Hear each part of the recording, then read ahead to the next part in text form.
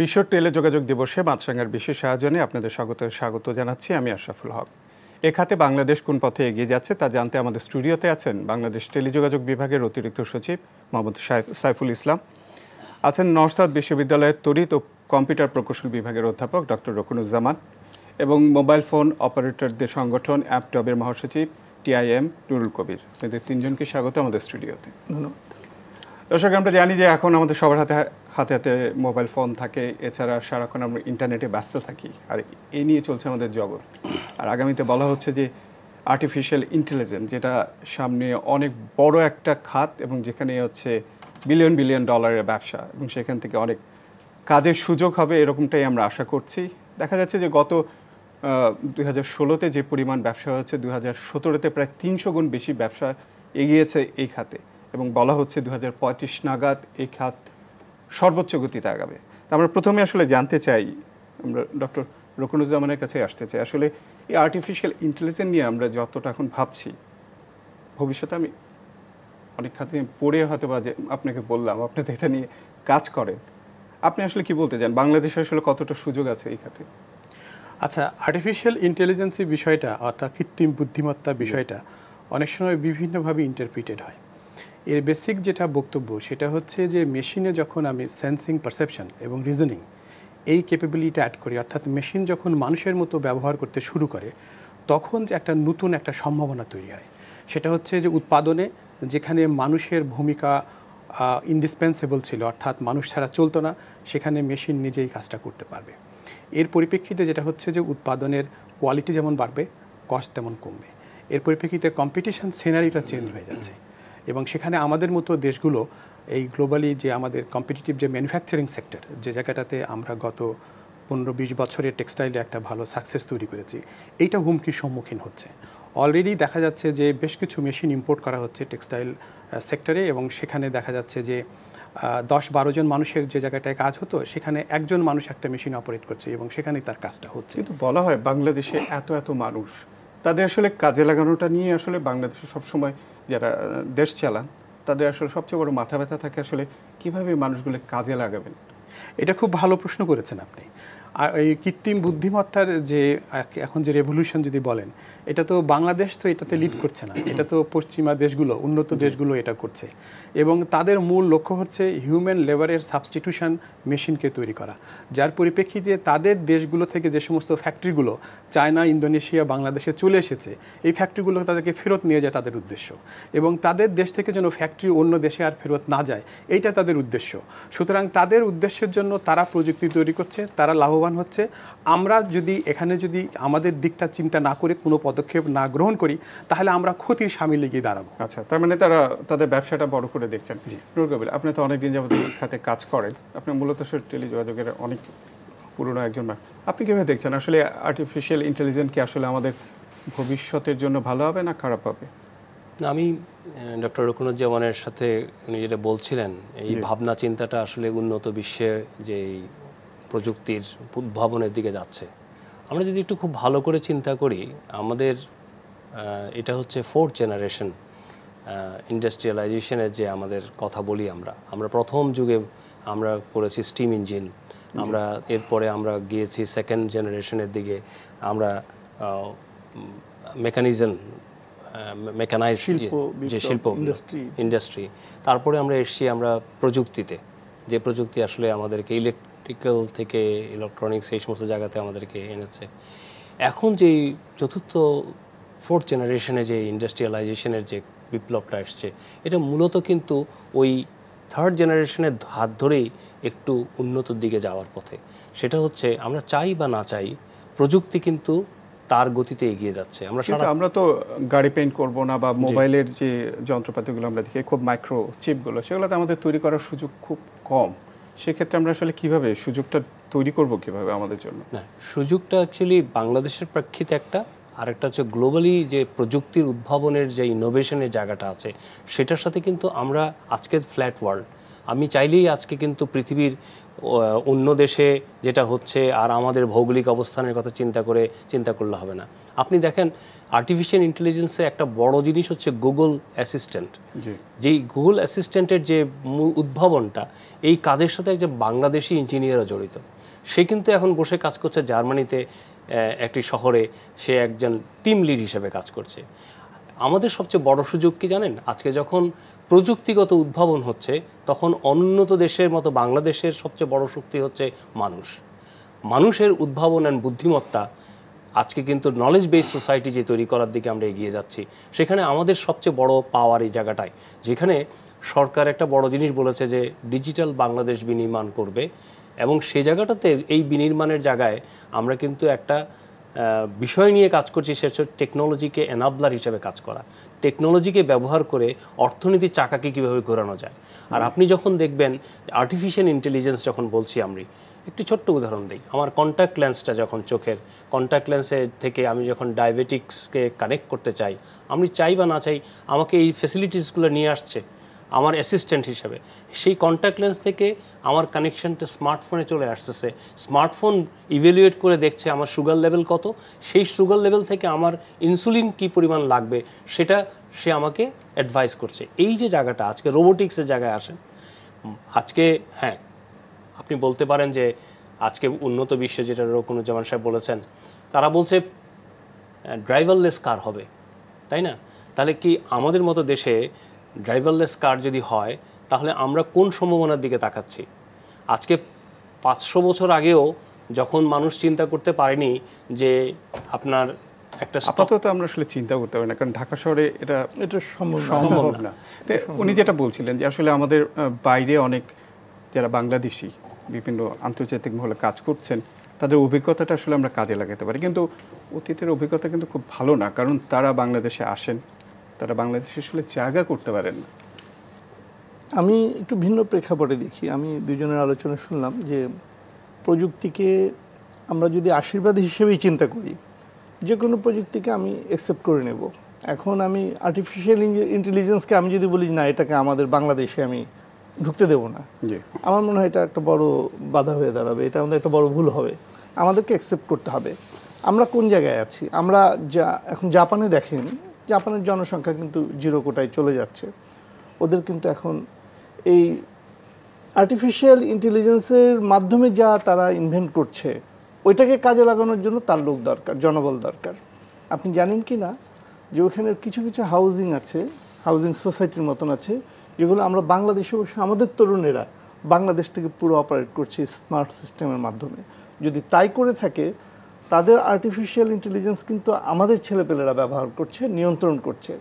তো আমাদের ওই জায়গাটাই সম্ভাবনার জায়গা আছে যেখানে আমার জনবল আছে। না আমরা আসলে শুধু কি ব্যবহারকারী হিসেবে থাকব? না আসলে আমরা আছে। পেছনে ব্যাক এন্ডে থাকব যে আমরা আসলে এই টেকনোলজি উনি যেটা বললেন যে আমার আসলে স্মার্টফোন এখন আমি যখন হাঁটতে থাকি তখন বলে দেয় আসলে তুমি এত স্টেপ হাঁটলা তোমার আসলে আজকে এটা ফুলফিল হয়ে গেল। আমি এই প্রযুক্তিটার সাথে কখন নিজে কাজ করা শুরু করব? করার জন্য এই প্রযুক্তিটাকে আপনি ব্যবহার করার জন্য আপনাকে হয়তো আমাদের কিন্তু আমরা আমরা কোন ইনস্টিটিউশন বলতে হাতে খোটা কয়েকটা দেখি বুয়েট আছে নর্থ কিছু কাজ করে। এরকম কয়েকটা আমরা কিন্তু আমরা কিন্তু সম্ভাবনার জায়গায় চলে যাচ্ছি। আপনি দেখেন যে পৃথিবীর কয়টা দেশ আছে? মালয়েশিয়া কিন্তু এখন আপনার স্যাটেলাইট উৎক্ষেপণ করেনি। যে কোনো কারণে হয়তো ওদের সামর্থ্য আছে ওরা করেনি। কিন্তু আমরা কিন্তু করে ফেলেছি তাই না? আমরা ডিজিটাল বাংলাদেশ আমাদের দুই সালে আমাদের মাননীয় প্রধানমন্ত্রী ডিজিটাল বাংলাদেশ বিনির্মাণের ঘোষণা দিয়েছেন। আমরা ডাক টেলিযোগাযোগ বিভাগ এবং তথ্য প্রযুক্তি মন্ত্রণালয় আমরা যুগপথভাবে কাজ করছি। এবং আমরা আমরা যদি খুব উল্লেখযোগ্যভাবে সরকারের সাফল্যের দিকটা যদি তাকাই তাহলে আমরা দেখতে পাই যে এই জায়গাটাতে সরকারের সাফল্য আসছে। তরুণ তরুণীরা যোগ হচ্ছে এখান থেকে আমরা এখন বৈদেশিক মূর্য অর্জন করছি। আমরা কিন্তু একটা ভালো জায়গা ভালো অবস্থায় চলে যাচ্ছি। বিভিন্ন কাজ আপনারা হ্যাঁ করছি। আমরা কিন্তু করছি আমরা অনেক উদ্যোগ নিচ্ছি। এখন এই উদ্যোগ নিতে গিয়ে আমরা যদি দেখলাম যে আমরা যদি হঠাৎ করে পিছিয়ে পড়ি, যে না আমরা কোনো কিছুই করব না, আমরা জনবল তৈরি করছি, জনবল রপ্তানি করছি, আমরা দেশে কাজে লাগাচ্ছি, আমরা সবখানে, আমরা কিন্তু কোনোখানে থেমে নেই। আমরা হাইটেক পার্ক তৈরি করছি, আমরা প্রোডাকশন ইউনিট বিদেশ থেকে এখানে নিয়ে আসতেছি হাইটেক পার্কে আমরা যশোর হাইটেক পার্কে আমরা নিয়ে আসতেছি, আপনার অতি সম্প্রতি আমরা কিছু কম্পিউটার তৈরির কারখানাও আমরা বাংলাদেশে নিয়ে আসতেছি। আপনারা জানেন বড় বড় মোবাইল কারখানারও চলে আসতেছে বাংলাদেশে। সুতরাং আমরা যে শুধুমাত্র আমাদের জনবল রপ্তানি করব বা ব্যাক এন্ডে কাজ করব তা নয় কিন্তু। মানে আমরা বলতে চাই যেটা আমরা কিন্তু আসলে এটার বিরুদ্ধে কথা বলতে চাই না। আমরা বলতে চাই আসলে আমাদের জনগণটা আসলে কীভাবে কাজে লাগাবো? এত ভালো ভালো মানে অনেক স্মার্ট ছেলেরা যে বের হচ্ছে তাদের আসলে তো তৈরি করার একটা প্রসেসে তাদের নিয়ে যেতে হবে। এখানে আমাদেরকে একটা জিনিস মাথায় রাখতে হবে।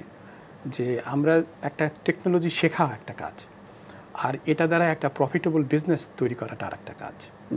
যে জায়গাটাই হচ্ছে মূলত চ্যালেঞ্জটা এবং এটা আমাকে কিন্তু গ্লোবালি একটা কম্পিটিটিভ স্পেসে করতে হবে। এটা Bangladesh is not an isolated market কিন্তু ওয়ার্ল্ডে অনেক দেশ আছে তারা আসলে শিক্ষার একটা ইনভেস্ট হিসেবে দেখে। আচ্ছা এই জায়গাটা আমি একটু পরে আসছি এই জায়গাটা আমি পরে আসছি এবং এটা এটা নিয়ে অনেক প্রশ্ন উঠছে সারা পৃথিবীতে এখন।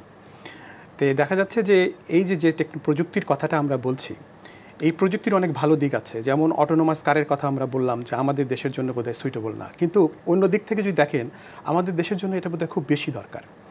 একটা স্ট্যাটিস্টিক দেয় ইন্ডিয়াতে প্রায় থ্রি পার্সেন্ট জিডিপি রোড অ্যাক্সিডেন্টের কারণে নষ্ট হয়। বাংলাদেশে যে আপনার রোড অ্যাক্সিডেন্টের যে মৃত্যুর সংখ্যা এটা কিন্তু অ্যালার্মিংলি ভেরি হাই এবং আমাদের ড্যামেজ কিন্তু ভেরি হাই এবং আমাদের যে হাইওয়েগুলো তৈরি করি এই হাইওয়েগুলোর ইউটিলাইজেশন ফ্যাক্টর কিন্তু খুবই কম। এবং সারা পৃথিবীতে ঘটনাটা ঘটেছে। তার কারণটা হচ্ছে মানুষকে যখন ড্রাইভার হিসেবে আপনি গাড়ির মধ্যে রাখছেন, তখন মানুষের কিছু লিমিটেশন আছে। এই লিমিটেশন থাকার পরিপ্রেক্ষিতে আমার রাস্তাঘাটগুলোর ব্যবহার কম হচ্ছে এবং আমার রাস্তাঘাটগুলোতে দুর্ঘটনা বেশি ঘটছে। সেখানে যদি মেশিন যদি নিজেই কাজগুলো করতে পারে, যে সম্ভাবনা আছে, সেই সম্ভাবনাকে কাজে লাগাতে পারলে এই জাতীয় যে আমাদের লসগুলো সেখান থেকে আমরা বেরিয়ে আসতে পারব। সুতরাং এই যে তো প্রযুক্তি যেটা, এটা প্রযুক্তি যে আমাদের জন্য ব্লেসিং এ ব্যাপারে কোনো ডিবেট নাই। কিন্তু যে জায়গাটা আপনি আসতে চাচ্ছেন সেই জায়গাটা হচ্ছে আমার এই জন সম্পদকে অথবা অথবা জনসংখ্যাকে আমি কি করে সম্পদ আকারে এর এখানে নিয়ে আসতে পারি, সেই জায়গাটাতে প্রশ্ন। এবং সেখানে শিক্ষার ব্যাপারে যেটা আপনি আসছেন, যে শিক্ষায় শুধু ইনভেস্টমেন্ট করলেই যে আপনার দেশের ইনোভেশন হবে, দেশ যে একটা ইনোভেশন সেন্ট্রিক ইকোনমি তৈরি করতে পারে, এটা কিন্তু ঠিক না। তার বড় একটা উদাহরণ বলি Canada Canada Canada has a one of the richest education system in the world কিন্তু ক্যানাডার innovation statistics is very poor তার কারণ হচ্ছে ক্যানাডার যে ইকোনমিক ইকো এবং যে ওদের যে পলিসি ইকোসিস্টেম আছে, সেই ইকোসিস্টেমে তারা গ্লোবালি কম্পিটিটিভ হয়ে কিছু করতে পারছে না। এই জন্য বাংলাদেশের এডুকেশন সিস্টেমে আপনি ইনভেস্টমেন্ট বাড়িয়ে দিলেই কোয়ালিটি অফ এডুকেশন বাড়িয়ে দিলেই, আপনি যে ইনোভেশন ইকোনমিতে প্রোডাক্টিভ ওয়েতে অর প্রফিটেবলি কন্ট্রিবিউট করতে পারবেন that is not necessarily true there is no correlationship linear correlationship between the two তাহলে আমাকে কি করতে হবে? তাহলে আমাকে যে জায়গাটায় হাত দিতে হবে, সেটা হচ্ছে যে আমরা সবসময় রপ্তানির কথা বলি। রপ্তানির এই জায়গাটায় রপ্তানি করার আগে আমার দেশের ভিতরে এর একটা কর্মক্ষেত্র তৈরি করতে হবে। এবং সেই কর্মক্ষেত্রটা শুধু সরকারের সাবসিডি দিয়ে তৈরি করলে হবে না। সরকার শুধু লোন নেবে আর সেইটা দিয়ে প্রজেক্ট তৈরি করবে আর উন্নয়নের কথা বলবে, এইটা সাস্টেইনেবল উন্নয়ন না। এই লোনটা এই গভর্নমেন্টের ইনভেস্টমেন্টটা একটা স্টিমুলাস হিসেবে কাজ করবে। করে একটা সাস্টেইনেবল একটা প্রফিটেবল একটা প্রাইভেট সেক্টরের একটা ইকোনমিক অ্যাক্টিভিটি তৈরি করবে। সেই জায়গাটায় আমরা পার্টলি ফেল করছি। সেটা কীভাবে সেই জায়গাটা আমরা ফাটলি ফেল করছি।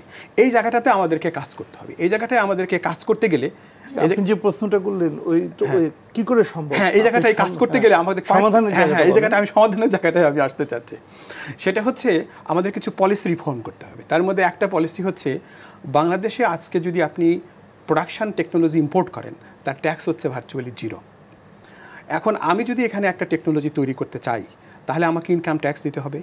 তারপরে আমাকে কম্পোনেন্ট যখন ইম্পোর্ট করছি, তারপরে আমাকে ট্যাক্স দিতে হচ্ছে। তাহলে আমি একটা ডিসঅ্যাডভান্টেজিয়াস পজিশনে পড়ছি। তাহলে আমাকে এখানে ট্যাক্সের একটা র্যাশনালাইজেশন করতে হবে। যার পরিপ্রেক্ষিতে লোকাল ইনোভেশনের একটা একটা- কম্পিটিটিভ একটা অ্যাডভান্টেজ তৈরি হয়। দ্বিতীয় কথা হচ্ছে আপনি যখনই একটা লোকাল ইনোভেশন করবেন আপনি যতই ভালো হন না কেন আপনার প্রথম প্রোডাক্টটা গ্লোবালি কম্পিটিটিভ হবে না। এটা একটু প্রিমিটিভ হবে। জায়গা দিতে হবে হ্যাঁ তাহলে এই প্রিমিটিভ প্রোডাক্টটা কি করে গ্রো করতে পারে? তার জন্য আপনাকে একটা স্কোপ তৈরি করতে হবে। স্কোপ তৈরি করতে গেলে মানুষকে আপনি ফোর্স করতে পারবেন না আপনার এই প্রিমিটিভ প্রোডাক্টটাকে পারচেস করার জন্য। ওখানে একটা ইনসেন্টিভ মেকানিজম নিয়ে আসতে হবে এবং সেই ইনসেন্টিভ মেকানিজম আপনি ডিম্যান্ড সাইডে যেমন দিবেন ঠিক সাপ্লাই সাইডেও দিবেন যাতে সাপ্লাই সাইড কন্টিনিউ কন্টিনিউয়াসলি প্রোডাক্টটাকে ইম্প্রুভ করতে পারি ইম্প্রুভ করে এটাকে একটা গ্লোবালি কম্পিটিটিভ করতে পারি। এই জায়গাটায় যদি একটা স্ট্র্যাটেজিক যদি আমরা একটা প্রোগ্রাম না নেই এবং একটা পলিসিগত যদি একটা ভালো রিফর্ম না নিই, তাহলে শুধু শিক্ষার পিছনে ইনভেস্টমেন্ট করে ইনফ্রাস্ট্রাকচারে ইনভেস্টমেন্ট করে আমরা এই জায়গাটায় ফল আনতে পারব বলে মনে হয় না। পৃথিবীতে এমন এমন খবর নাই। এবং আপনাকে একটা ছোট্ট উদাহরণ বলি। ডক্টর মাহাতির যখন মালয়েশিয়ার খুব সাকসেসফুল প্রাইম মিনিস্টার ছিলেন, তখন উনি সাইবার জায় নামে একটা প্রজেক্ট নিয়েছিলেন। উনি বিলিয়নস অফ ডলার পাম্পিং করেছিলেন। উনি সিলিকন ভাইকে ভ্যালিকে কপি করতে চেয়েছিলেন, কিন্তু এটা মিজারেবলি ফেইল করেছে। কারণ হচ্ছে কি ওই যে অ্যাপ্রোচে গিয়েছেন সেই অ্যাপ্রোচে ওইটাকে কপি করতে মানে আমাদের। ঠিক অ্যাপ্রোচটা নিতে হবে। আমরা আবারও ফিরবো আপনাদের কাছে। সেই অ্যাপ্রোচটা আমাদের নিতে হবে। তার আগে দর্শক আমরা একটা ছোট্ট বিরতি দিয়ে যাচ্ছি।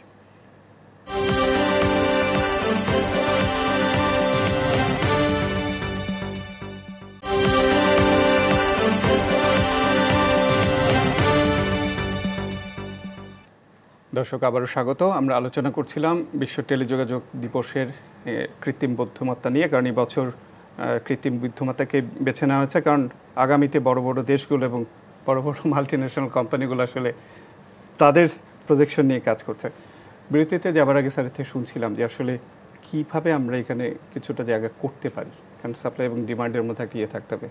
আমরা জানি না, অনেক আগে যখন আমরা কাজ করেছি, তখন সব দেশে মনে হয়েছে যে লোকালি যদি কোনো প্রোডাক্ট তৈরি করে সেটাকে গভর্নমেন্টের নিজেরও কিনতে হবে কারণ সে মার্কেটটা তৈরি করতে হবে।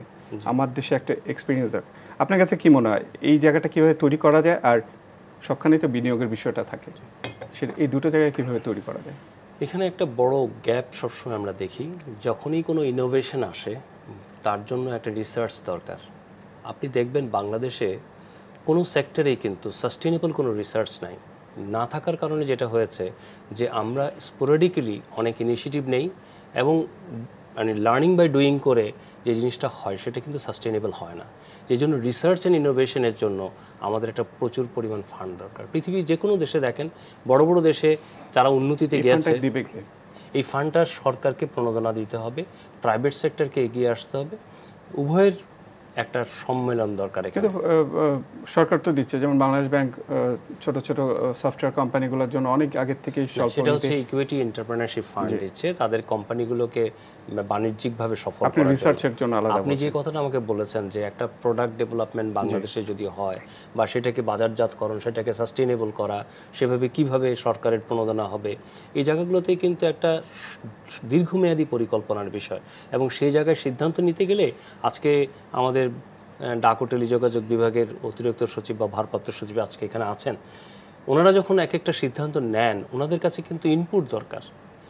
ওনারা কাছে প্রপার রিসার্চ ডকুমেন্ট যদি না থাকে হাজার হাজার কোটি টাকার সিদ্ধান্ত নিতে গেলে আমার কিন্তু সেরকমই একটা রিসার্চ রিসার্চ থাকবে যেটা কিনা ওই সিদ্ধান্ত নিতে সরকারকে সহায়তা করবে। কোন ইনস্টিটিউটে কাজটা করতে পারে? আপনি যে তাৎক্ষণিক চিন্তা করেন যে আসলে কে করতে পারে কাজটা? এখানে বাংলাদেশে অনেকগুলো রিসার্চ অর্গানাইজেশন আছে বিআইডিএস আছে আরও অনেকগুলো আছে। কিন্তু আমরা বিভিন্ন সময় দেখেছি যে এটা একাডেমিয়া এবং ইন্ডাস্ট্রি পার্টনারশিপটা খুব জরুরি।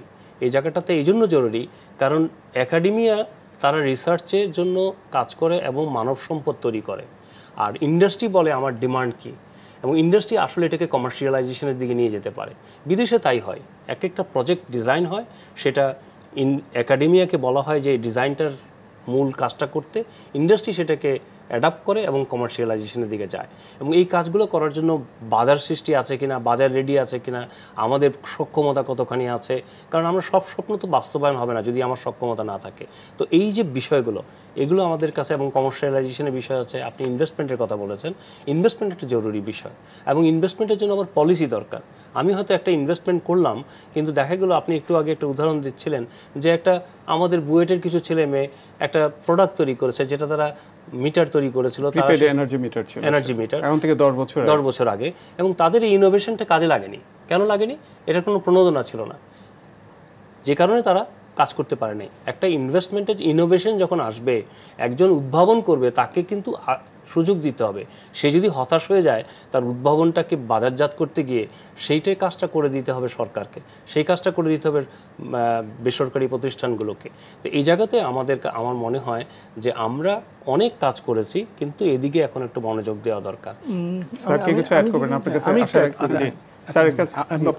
আমি অ্যাড করছি যে জিনিসটা আমাদের কিন্তু এখন আমরা যদি মন্ত্রণালয়ের ভিতরে মন্ত্রণালয় ভিত্তিক যদি তাকাই প্রত্যেকটা মন্ত্রণালয় কিন্তু একটা রিসার্চ সেল মানে ঠিক মন্ত্রণালয়ের ভেতরে না। আমি যদি বলি যে এগ্রিকালচার এগ্রিকালচার সেক্টর নিয়ে কিন্তু রিসার্চ হচ্ছে বাংলাদেশে।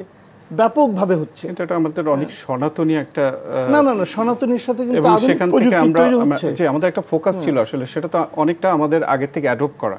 আমরা জানি কীভাবে কৃষি কাজ আমরা আমরা আপনার হয় কি যে কোনো জিনিসকে অ্যাডপ্ট করে নিয়ে কিন্তু এটাকে মডার্নাইজেশনের দিকে আমরা নিই। আমরা বলি যেমন যে আপনার সায়েন্স ল্যাবরেটরি যেটা আছে সনাতন পদ্ধতিতে কাজ করছে হ্যাঁ। আমরা যে জায়গাটাতে ফোকাস দিতে পারি যে এটাকে আরেকটু কি করে আরও আধুনিক করা যায় হ্যাঁ? আধুনিক প্রযুক্তির সাথে এটাকে সম্মেলন ঘটানো এই জায়গাটা কিন্তু রিসার্চের জায়গা কিন্তু তৈরি করছি আমরা। আমি এই জায়গাটাতে একটা আপনি যেটা বলছেন সমন্বয়ের ব্যাপার। এখানে আমরা যে উনি যেটা বলছিলেন একটা সনাতন পদ্ধতি বা একটা জিনিস আমরা করছি সেটাকে আমি বলছি স্পোরাডিক আমরা যেটা চাচ্ছি সেটা সারা বাংলাদেশের রোডম্যাপ চিন্তা করে আপনি যেমন বলছেন যে দুই হাজার একুশ সালের মধ্যে মধ্যম আয়ের দেশ হবে একচল্লিশ সালের মধ্যে গবেষণার জন্য এরকম একটা ক্ষেত্র তৈরি করা এবং আপনি যেটা বললেন যে আসলে জার্মানিতে যে দেখলেন হচ্ছে গুগলেতে আমাদের ছেলেরা কাজ করে তাদের নিয়ে আসলে তো অনেক ক্ষেত্রে আমরা অনেক আচ্ছা, এই জায়গাটাতে হয় আই উড লাইক টু মানে শেয়ার ফিউ পয়েন্টস একটা হচ্ছে দেখেন ইনোভেশন তিনটা ফর্মে হতে পারে। একটা হচ্ছে প্রোডাক্ট রিইনোভেশন স্ট্র্যাটেজি যেমন আপনি ইলেকট্রিক্যাল মিটারের যে উদাহরণটা দিলেন এটা হচ্ছে রিইনোভেশন স্ট্র্যাটেজি যেটা যখন চায়নার বেশ কিছু কোম্পানি স্মার্টফোনে এটা করছে তারা রিইনোভেশন করছে। আর একটা হচ্ছে প্রোডাক্টের নতুন একটা প্রোডাক্ট আপনি ইনোভেট করছেন যেটাকে আমরা বলি ডিসরাপটিভ ইনোভেশন যেমন iPhone was a disruptive innovation to Nokia's phone similar iPod was a disruption to iPod sorry Walkman এটাকে ডিসরাপটিভ ইনোভেশন থার্ড একটা আছে সেটা হচ্ছে প্রসেস ইনোভেশন সেটা হলো আমি অলরেডি একটা জিনিস প্রোডাক্টিভলি প্রফিটেবলি প্রডিউস করছি। সেই যে প্রসেসটা আছে, সেই প্রসেসটাকে আমি ইমপ্রুভ করতে পারি। তো এখন এই তিনটার ভিতরে ডিসরাপটিভ ইনোভেশন যেটা যেটা আমরা অনেকেই মনে করি যে একটা প্রোডাক্ট বানাবো, সারা পৃথিবীতে এটা বিক্রি করব বিরাট সাকসেস তৈরি করব। এটা অত্যন্ত একটা রিস্কি ভেঞ্চার বাংলাদেশ আমার মনে হয় এই পর্যায়ে এখন নাই। ইভেন চায়না এটাতে এখন এটা করতে পারছে না। আর একটা হচ্ছে প্রোডাক্ট রিইনোভেশন স্ট্র্যাটেজি আপনি যেটা বললেন যে ওই যে মিটারের উদাহরণটা দিলেন, সেখানে যদি একটা লার্জ লোকাল মার্কেট না থাকে, তাহলে রিইনোভেশন স্ট্র্যাটেজিতে একটা ফার্মকে ধার করানোটা খুব ডিফিকাল্ট হয়। সেখানে বাংলাদেশের যে মার্কেট সাইজটা এটা কতটুকুন জাস্টিফাইড এই রিইনোভেশন স্ট্র্যাটেজির জন্য? I am not very clear about that third হচ্ছে প্রসেস ইনোভেশন আমার কাছে মনে হয় এইটা বাংলাদেশের জন্য খুব অ্যাপ্রোপ্রিয়েট এই প্রসেসটা হতে পারে এগ্রিকালচারে এই প্রসেসটা হতে পারে আমার টেক্সটাইলে এই প্রসেসটা হতে পারে আমার প্রডিউসিং এনিথিং যেটা আমি অলরেডি প্রডিউস করছি। এবং এই জায়গাটাতে আমি লেবার অ্যাডভান্টেজ নিয়ে আমি লেবার ক্লাইমেট এবং র মেটেরিয়াল অ্যাডভান্টেজ নিয়ে আমি একটা অলরেডি কাজ করছি। এই জায়গাটাতে আমি প্রসেসটাকে ইম্প্রুভ করব যাতে আমার কোয়ালিটি বাড়ে কস্ট কমে এবং এই প্রসেস ইনোভেশনটা করব আমি এআই এআই এর অ্যাডভান্টেজ নিয়ে, আমি কৃত্রিম বুদ্ধিমত্তার অ্যাডভান্টেজ নিয়ে। আমি একটা উদাহরণ দিই, আমার টেক্সটাইলের যে ফ্যাব্রিক্স আমার ওয়েস্টেজ হচ্ছে আমার এই বিভিন্ন কারণে। এই জায়গাটা আমি ওয়েস্টেজটা কমিয়ে আনতে পারি। কীভাবে? আমি ওই হিউম্যান ইন্সপেক্টরের জায়গাতে যদি কৃত্রিম বুদ্ধিমত্তা সম্পন্ন যদি ইন্সপেকশন মেকানিজম বসাই এবং যে সফটওয়্যারগুলোর ইনোভেশন যদি বাংলাদেশে আমি করি তাহলে সেইটাকে যদি আমি এখানে ইন্টিগ্রেট করি তাহলে সঙ্গে সঙ্গে আমার দেখা যাবে কি টেক্সটাইল সেক্টরের আমার কোয়ালিটি ইমপ্রুভ করে যাচ্ছে কস্ট কমে যাচ্ছে। যদিও কিছু জব লস হবে কিন্তু আমার সফটওয়্যারে আবার জব ক্রিয়েশন আমরা এখন করছি। যেমন আমরা ডিজাইনটা করি করার পরে যে কাটিংটা সেটা আসলে মেশিন মেশিন আন্ডারস্ট্যান্ড আন্ডারস্ট্যান্ড কিন্তু না না ওই মেশিনটা আমরা ইম্পোর্ট করছি। জি। আমরা মেশিনটা ইম্পোর্ট করতে চাই না। আচ্ছা। আমরা মেশিনটা এখানে ইনোভেট করতে চাই। যার পরিপ্রেক্ষিতে ওখানে আমার কিছু জব লস হবে প্রথমে, কিন্তু আমার হাই টেক ইনোভেশনে আমার জব ক্রিয়েট হবে। অতএব আমি এখানে একটা নতুন ইকোনমিক সেক্টর ক্রিয়েট করতে পারছি। দ্বিতীয় যেটা হচ্ছে, তারা যখন আগের চাইতে মোর কম্পিটিটিভ হবে, অতএব তাদের এক্সপ্যানশন রেটটা বেড়ে যাবে। এর পরিপ্রেক্ষিতে যে জব লসটা হলো, তার চাইতে হয়তো বেশি জব তারা ক্রিয়েট করতে পারবে। তো এখানে কৃত্রিম বৃদ্ধি, বুদ্ধিমত্তার সহায়তা নিয়েই কিন্তু আপনার কম্পিটিশন স্ট্র্যাটেজিটাকে আপনি চেঞ্জ করে ফেলতে পারেন। এবং এর জন্য আমাকে গুগলের সাথে কম্পিট করতে হবে ফেসবুকের সাথে কম্পিট করতে হবে নট নেসেসারিলি ট্রু এবং আমার মনে হয় এটা আমাদের করা উচিত। না। বরং আমার যেখানে সুবিধা আছে, সেটা হচ্ছে আমার একটা লেবারের অ্যাডভান্টেজ আছে, আমার একটা ক্লাইমেটের অ্যাডভান্টেজ আছে, যেখানে আমার অলরেডি একটা প্রফিটেবল প্রোডাকশন আছে। আমি ওই জায়গাটাতে লোকাল এআই ইনোভেশনকে আনতে চাই। কেন লোকাল বলছি? তাহলে আমার একটা লোকাল হাইটেক ইকোনমি তৈরি হবে। এই লোকাল হাইটেক ইকোনমিটা যখন একটা ম্যাচিওর স্টেজে আসবে তখন তারা রিইনোভেশন স্ট্র্যাটেজিতে যাবে। এটা কি ভিয়েতনাম করছে? এই জায়গাটা আমি আসি রিইনোভেশন স্ট্র্যাটেজি যাবে। তারপরে তারা ডিসরাপটিভ ইনোভেশনে যাবে। ভিয়েতনাম এখনও এই রিইনোভেশন স্ট্র্যাটেজিতে আসতে পারে নাই। ভিয়েতনামে যে একটা বিরাট বড় যে একটা হার্ডওয়্যার ম্যানুফ্যাকচারিং ইন্ডাস্ট্রি তৈরি হয়েছে প্রায় পঁচিশ বিলিয়ন ডলার ওদের যে এক্সপোর্ট এবং স্যামসাংয়ের যে একটা বিরাট এস্টাবলিশমেন্ট আছে এটা মূলত হচ্ছে লেবার বেস ভ্যালু এডিশন এবং এই লেবার বেস ভ্যালু এডিশনটা কন্টিনিউয়াসলি উইকার হয়ে যাচ্ছে। উদাহরণ বলি আপনাকে কেসিওর দুইটা প্ল্যান্ট আছে থাইল্যান্ডে। এই দুইটা প্ল্যান্টকে তারা এখন জাপানে রিটার্ন করানোর ব্যাপারে কাজ করছে।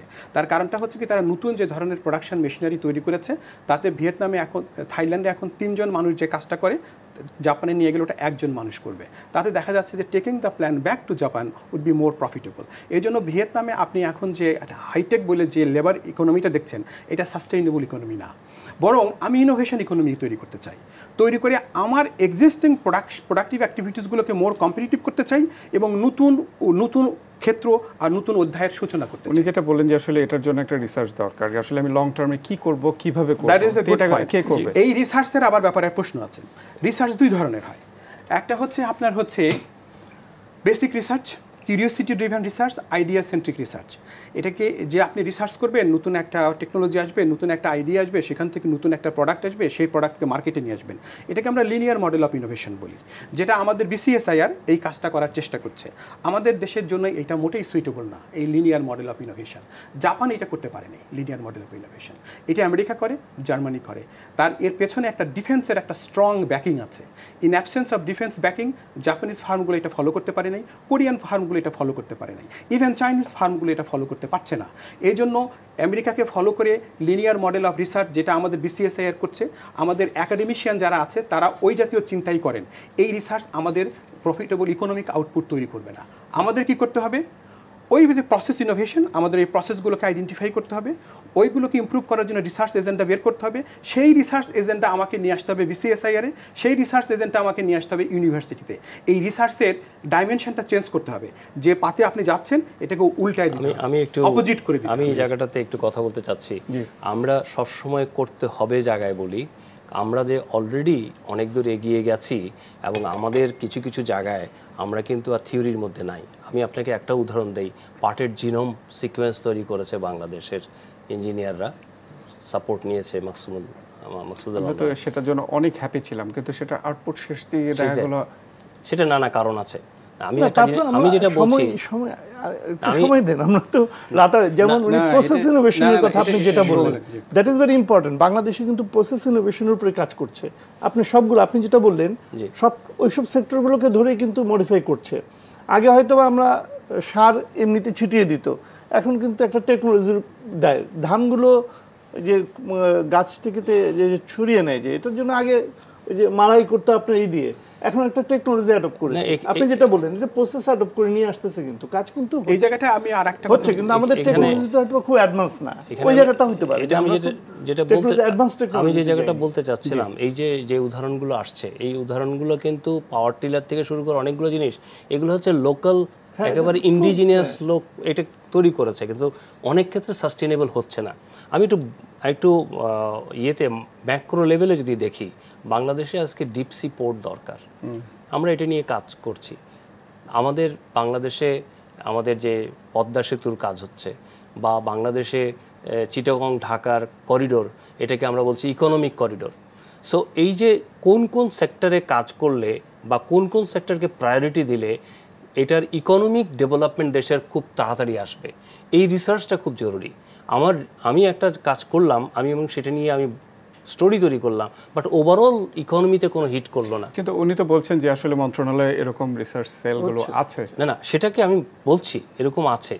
আমি বলছি বাংলাদেশের অর্থনীতির চাকাকে ঘুরিয়ে দেওয়ার জন্য বড় বড় মেগা প্রজেক্ট যেগুলো আজকে হচ্ছে তার সাথে একটা ইন্টিগ্রেটেড রিসার্চ দরকার যে আমরা পাঁচ বছর পরে কি কি কাজের থেকে কীভাবে আসবে? আপনি দেখেন বাংলাদেশ এলডিসি থেকে উন্নয়নশীল দেশ হলো। সেখানে একটা প্যারামিটার আছে কিন্তু ভালনারেবল ইন্ডেক্স ভালনারেবল ইন্ডেক্সে বলা হয়েছে তিন বছর পরে কিন্তু আবার অ্যানালাইসিস করা হবে। এই ভালনারেবল ইন্ডেক্সের জন্য কিন্তু সক্ষমতা খুব জরুরি জিনিস। আমরা কোন কোন জায়গায় সক্ষমতা নিতে হবে? তার মধ্যে মানব সম্পদ একটা বড় জিনিস আমাদের। আমাদের ইনোভেশন অ্যান্ড টেকনোলজির একটা বড় জিনিস। আজকে অনেকে বলছে যে স্যাটেলাইট বাংলাদেশে জন্য কি দরকার? কিন্তু বাংলাদেশ কিন্তু একটা জিনিস এখানে খেয়াল করবেন আমি বিজনেস কেস বা অন্য জায়গায় যাচ্ছি না। সক্ষমতার জায়গায় বা বাংলাদেশের আন্তর্জাতিকভাবে বাংলাদেশ কিন্তু একটা সম্ভাবনার জায়গায় এসছে। আমরা এই স্যাটেলাইটের বিষয়ে আসব কারণ উনি স্যাটেলাইটের যে প্রকল্প সেটার ব্যবস্থাপনার পরিচালক। আমরা এই এআই নিয়ে যতটুকু আপনার থেকে জানতে চাই আপনি যেটা বললেন সেলগুলো আছে কিন্তু এখনকার যেই রিসার্চগুলো হয় সাধারণত বাইরে যারা কাজ করে বিভিন্ন বড় বড় প্রতিষ্ঠানগুলোতে কাজ করে স্যার যেটা বললেন দুজনই বললেন সেখানে আমাদের অনেক ভালো ভালো ছেলে আছে। তাদের যদি আপনি আনেন তাহলে ব্লেনটা অনেক ভালো হয় কারণ সে তো বাংলাদেশি মানুষ। সেই ক্ষেত্রে এই প্রজেক্টগুলোতে তাদের তো কখনোই দেখি না তারা আসে হ্যাঁ, আসার পরে হতাশ হয়ে ফিরে যায়। না এটা আছে আছে এই কারণে বলি যে আমরা যখনই কোনো বড় প্রকল্প গ্রহণ করি আপনি পদ্মা ব্রিজের কথা বললেন এই যে আমাদের যে স্যাটেলাইটের কথা বললাম আমরা কিন্তু প্রথমে একটা রিসার্চ করেই তারপর কিন্তু আমরা এগোই। হ্যাঁ এখন এই এই রিসার্চ করার জন্য আমরা কাদেরকে ইনভলভ করি? আপনি বললেন যে বাংলাদেশের ছেলেপেলেদের ইনভলভ করি। আমরা বাংলাদেশের ছেলেপেলেদের এখন যেভাবে তৈরি করছি তারা হয় কি যখন নাকি খুব মেধা সম্পন্ন হয়ে যায় বা তাদের মেধাটা খুব কাজে লাগানোর মতন হয় তখনই বিদেশ থেকে অফার আসে। আমরা ধরে জায়গা তৈরি করতে দেশের বাইরে আছেন যারা খুব ভালো অবস্থানে আছেন। যেমন পদ্মা সেতুর কথাই বললেন সেখানে হয়তো বা চাইনিজ প্রতিষ্ঠানগুলো আমাদের টেকনিক্যাল অনেক অ্যাডভাইস দিচ্ছে সেখানে হয়তো বা আমাদের বাইরের অনেকে দিতে পারতেন। আমি আমি ঠিক একদম আমার জায়গা থেকে বলি আমি স্যাটেলাইটে যারা প্রথম যারা ফিজিবিলিটি স্টাডি করেছে আমরা কিন্তু বাইরে থেকে বাংলা বাংলাদেশি যারা ইন্ডিয়ার নন রেসিডেন্স বাংলাদেশি আচ্ছা। যারা তাদেরকে নিয়ে কিন্তু এটা করেছি। এবং এখানে মেধাসম্পন্ন লোক ছিল যারা এগুলোতে কাজ করছে স্পেসের বাইরে তাদেরকে নিয়ে এসে, তাদের বুদ্ধিমত্তা নিয়ে, তাদের সহায়তা নিয়ে কিন্তু আমরা প্রজেক্টটা তৈরি করি আচ্ছা আবারও স্যাটেলাইট নিয়ে আমরা এই পরবর্তী আলোচনা আসতে চাই। দর্শক, তার আগে আমরা একটা ছোট্ট বিরতি নিচ্ছি।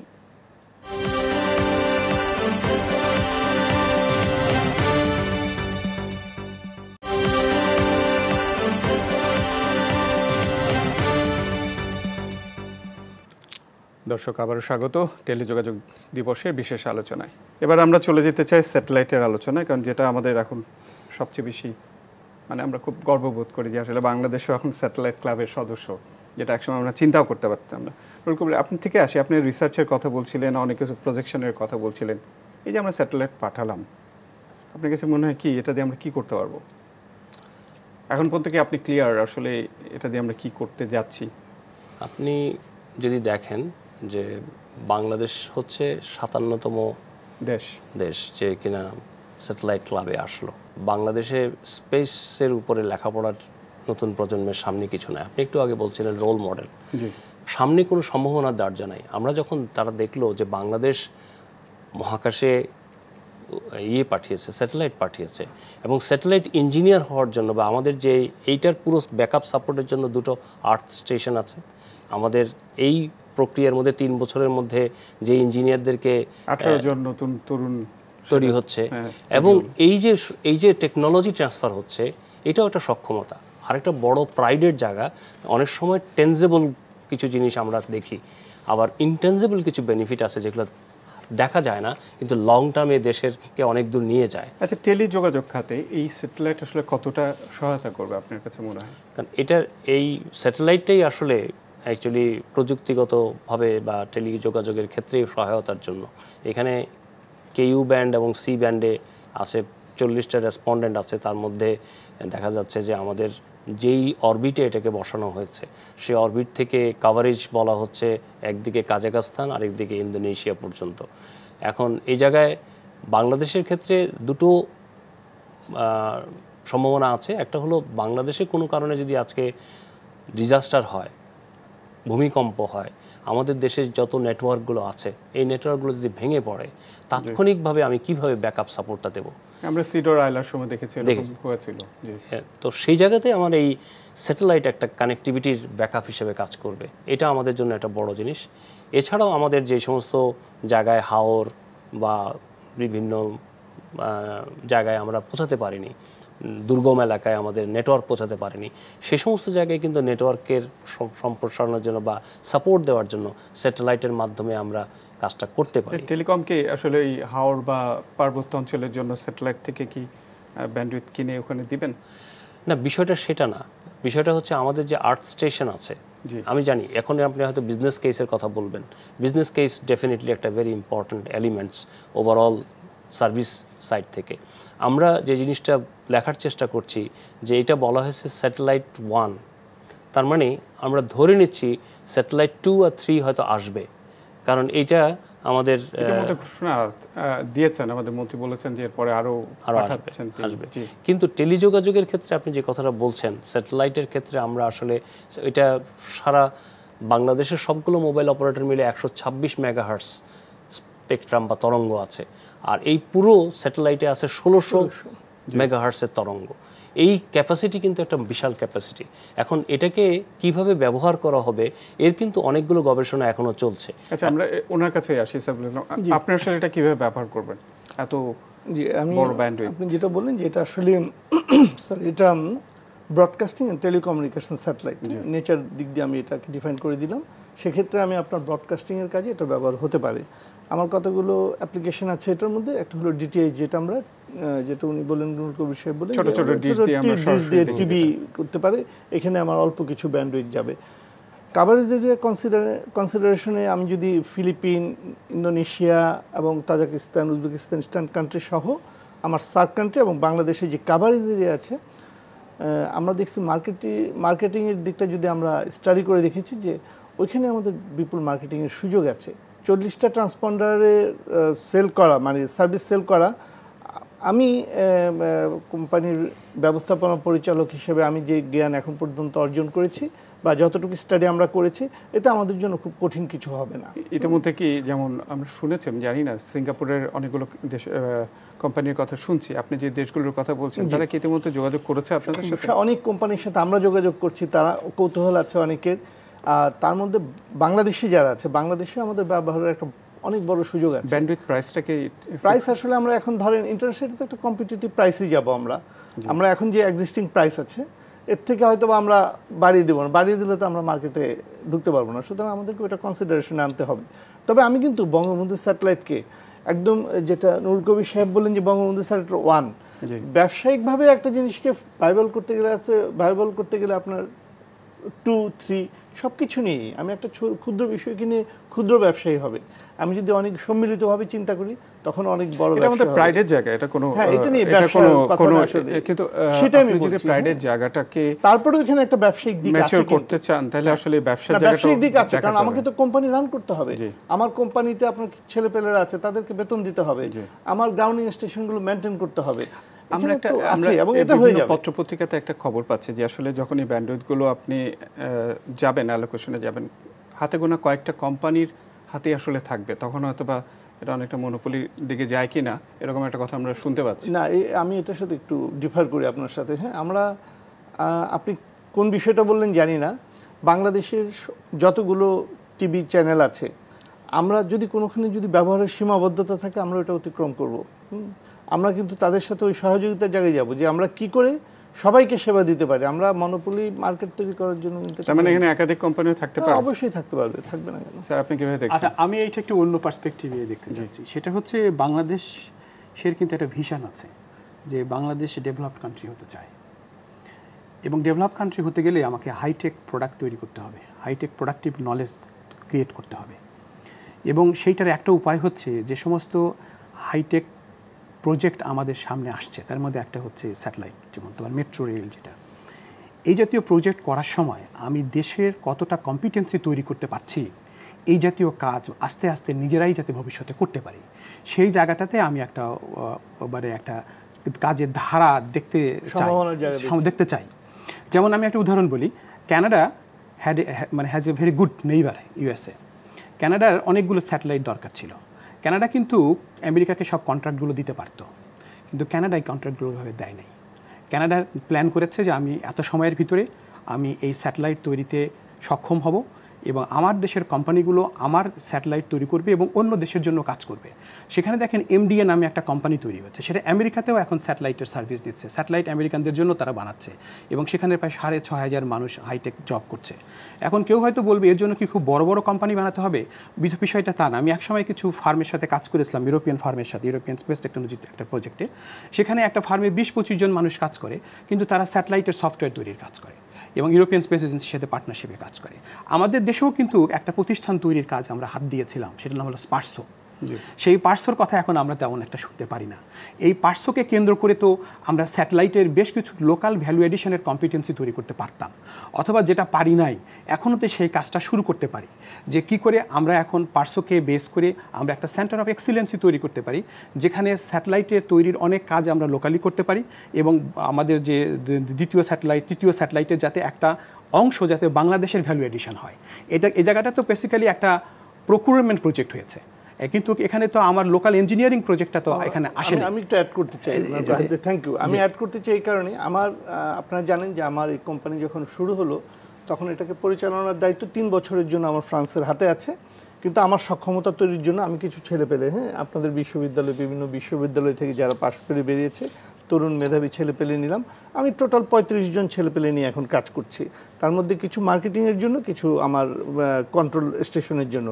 স্টেশনের জন্য আমার আঠারো জনের মতন আছে। এই আঠারো জনকে আমি দেড় মাসের প্রশিক্ষণ দিয়ে এনেছিলাম ফ্রান্স থেকে। সর্বোচ্চ প্রশিক্ষণ লেন ছিল দেড় মাস। তাদের যে দক্ষতা অর্জন করেছে, এখন যারা ফ্রান্সের, যারা আমার এটা সাপোর্ট দেবে, তারাই স্বীকার করছে এখন যে আমাদের আসলে প্রয়োজন নাই। আমাদের ডেডিকেশনটা অনেক বেশি। এই জায়গাটা- ইভেন আমি মার্কেটিং এর যে পাঁচটা ছেলেকে নিয়ে কাজ করি আমি তো কোনো মার্কেটিং এর এখন এজেন্ট নিয়ে নিই হ্যাঁ? দে আর ভেরি ইয়াং তারা এক্সপ্লোর করছে মার্কেট দেখছে। পুরোপুরি তারা we are now stand by আমরা তৈরি হয়ে গেছি। না এই জায়গাটা আমি একটু একটু- পয়েন্ট অ্যাড করতে চাই। যেখানে আমাদের হ্যাঁ আমাদের বেদবনিয়া আমাদের যে আর্ট স্টেশনটা এটা আমরা করেছি কিন্তু সেভেন্টিজে তারপরে আমরা এখানে আর একটা করেছি গাজীপুরে। গাজীপুরে। এবং আমাদের একটা টেলিফোন শিল্প সংস্থা নামে একটা প্রতিষ্ঠান ছিল। আচ্ছা এখন আছে এখনও আছে। কিন্তু গত চল্লিশ বছরে কি হয়েছে? টেলিকম টেলিকম ইকুইপমেন্টের ভ্যালু এডিশন ক্যাপাসিটি আমাদের কন্টিনিউয়াসলি কমেছে। আমরা ইঞ্জিনিয়ার নেই ইকুইপমেন্ট অপারেট করার জন্য ইকুইপমেন্ট রিপেয়ার করার জন্য। এই জায়গা থেকে আমাদের বেরিয়ে আসতে হবে। কি করে আমাদের ইঞ্জিনিয়াররা নতুন ধরনের স্যাটেলাইট রিডিজাইন করতে ডিজাইন করতে পারে সেখানে ভ্যালু এডিশন করতে পারে সেই জায়গাটায় যাওয়ার জন্য আমাদেরকে স্টেপ নিতে হবে। এই জন্য আমরা যেভাবে আজকে ইঞ্জিনিয়ারদের সায়েন্টিস্টদের রোল দেখতেছি এই রোলটাকে আপগ্রেড করতে হবে। এই আপগ্রেড করতে না পারলে টেলিকমের আমাদের টেসিসের যে যে ভবিষ্যৎ হয়েছে হয়তো এই স্যাটেলাইটের যে আমরা মানুষগুলোকে নিয়েছি যারা অত্যন্ত প্রতিভাবান মানুষ কিন্তু তাদেরকে অপারেটর বানানো বানিয়ে রাখলাম। আচ্ছা, তাদেরকে মেকানিক বানিয়ে রাখলাম একবারে। শেষে আছে। এই যে মানব সম্পদের কথা বলছি যে আমি ডক্টর রকুনুজ্জামানের সাথে। এতটা হতাশাবাদী না। আমি আমি আরও বেশি প্রগ্রেসিভলি চিন্তা করছি। আমি মনে করি যে যে কথাটা সাইফুল সাহেব একটু আগে বললেন যে ফ্রান্সের কোম্পানি বলেছে এদের সক্ষমতা কারণ বাংলাদেশিদের অ্যাডাপ্টেবিলিটি খুব কুইক আমরা কিন্তু খুব দ্রুত আমাদের ছেলে মেয়েদেরকে আমরা দেখেছি। মেন হচ্ছে ডেডিকেশন ডেডিকেশন ডেডিকেশন কৌতূহল এখন। এখানে একটা জিনিস ডেডিকেশন আর অ্যাডাপ্টেবিলিটি দিয়ে কি আসলে মার্কেটে ওইভাবে ধরা যাবে? আপনার মনে হয়? আমরা আমরা আমি সিলিকন ভ্যালিতে একটা কোম্পানির সাথে কথা বলেছিলাম বেশ কয়েক বছর আগে। তারা বলেছে যে বাংলাদেশি ইঞ্জিনিয়াররা তাদের ওখানে কাজ করে দ্য বেস্ট কমেন্ট হচ্ছে, এদের অ্যাডাপ্টিভিটি খুবই কুইক এবং তারা সেই রেজাল্টটা পায়। আমি লাস্টে একটা কথা বলি যেটা স্যাটেলাইট নিয়ে কথা বলছে। স্যাটেলাইটের ইকোসিস্টেমে কিন্তু অনেকগুলো কাজ হয় এবং সেটা একটা রকেট বানানোর জন্য বা এটার ইঞ্জিনিয়ারিংয়ের জন্য প্রোগ্রামিংয়ের জন্য, তারপরে এটাকে লঞ্চিংয়ের জন্য, তারপরে এটার ইন্স্যুরেন্স করা ছিল। পুরো স্যাটেলাইটটা ইন্স্যুরেন্স করা ছিল। তার মানে স্যাটেলাইটে যে উঠতে না পারতো তাহলে বা কোনো কারণে যে স- জায়গা মতো বসতে না পারতো তাহলে পুরো টাকাটা ফেরত পেতো। এই কাজগুলোতে আমাদের একটা সম্ভাবনা দুয়ার খুলে গেছে। আমি কিন্তু সেই জায়গায় দেখতে পাচ্ছি। আমরা একবারে খুবই সংক্ষেপে এই এই স্যাটেলাইট আমরা বলতেছি তিন মাস লাগবে। এরপর থেকে আসলে আমরা কি ফুল ফাংশনে যাচ্ছি? জি জি। আমরা আম, আমরা কি তৈরি নাকি আমরা ইতিমধ্যে জানি আছি। আমরা আসলে কি করছি? না আমরা তৈরি আছি। আমরা তিন মাসের মধ্যে যদি এটা কার্যক্রম শুরু করে যাবে শুরু কি কি ফাংশন শুরু হবে এরপরে? আমাদের এরপর আমরা টোটাল মার্কেটিং এ চলে যাব হ্যাঁ? আমাদের অলরেডি আমরা মার্কেটিং এর জন্য যা যা করণীয় আমাদের যেমন আপনার একটা কেরিয়ার সিগন্যাল স্টেশন আমরা ফিলিপিনে তৈরি করে ফেলেছি তিরিশ জুনের মধ্যে এটা কাজ করবে। আবার ইন্দোনেশিয়াতে একটা করেছি। সুতরাং আমরা কিন্তু কাজ করছি আমরা থেমে নেই। ভুটান আমি একটা আমি নেপাল শ্রীলঙ্কা এরাও তো আমাদের মার্কেট হতে অবশ্যই আমি শুধু রকুনুজ্জামান সাহেবকে একটা ছোট্ট বিষয় বলব। উনি যে ক্ষেত্রটার কথা বললেন আমাদের ছেলেপেলেদের তৈরি করার জন্য এইসব সাবজেক্টগুলোকে আপনাদের বিশ্ববিদ্যালয়ে আনতে হবে। ধন্যবাদ আজকে আপনাদের তিনজনকে সময় দেওয়ার জন্য। দর্শক এখানেই শেষ করছি। দেখা হবে অন্য কোনো সময়।